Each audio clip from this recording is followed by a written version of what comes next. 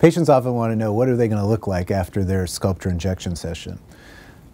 What we tell them is they're going to look great after the actual injection session immediately. And the reason for that is Sculptra is dissolved in water and local anesthetic. So we're actually injecting about 10 cc's or 10 syringes of uh, the equivalent of 10 syringes of a filler such as Juvederm or Restylane on each side of the face. So immediately with that fluid in the face, patients look incredibly good. Um, the problem is that over three to four days, the body reabsorbs the water and a lot of that improvement comes down.